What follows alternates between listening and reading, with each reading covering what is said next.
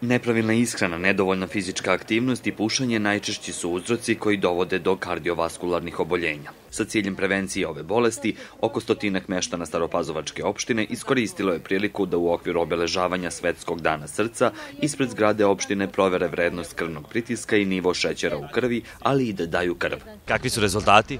Dobri su, malo povišeni pritisak, a e, ovaj, nema šećer, to me raduje. Je sve u redu, kaže da sam kao mladi momak.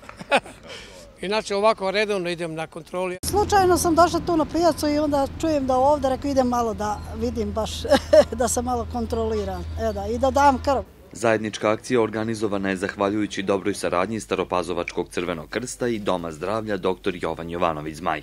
Danas smo dan posvetili zdravlju. Kakav je odziv bio generalno i na jednoj i drugoj akciji?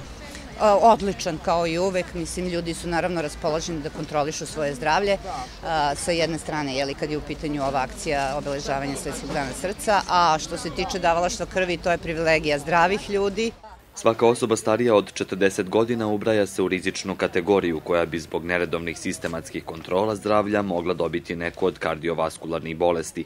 Iz Doma zdravlja u Staroj Pazovi preporučuju češće sistematske kontrole kako bi se sprečila kardiovaskularna oboljenja. Svakodnevno je neophodno napraviti jednu šetnju minimum od 2 km, zatim e, vežbanje, jutarnjim satima gimnastika, znači to svi zanemarujemo, potrebno je vrlo malo vremena da bi se to ovaj, realizovalo i redovne šetnje.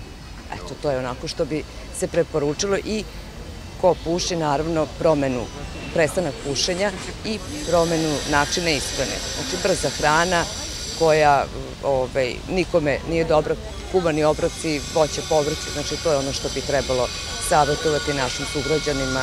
Zdravstveni radnici ističu da starija populacija češće kontroliše svoje zdravlje, kao i da čak 70 od starijeg stanovništva preko 50 godina u opšteni Stara Pazova boluje od hipertenzije, najčešćeg simptoma koji ukazuje na poremećaj rada kardiovaskularnog sistema.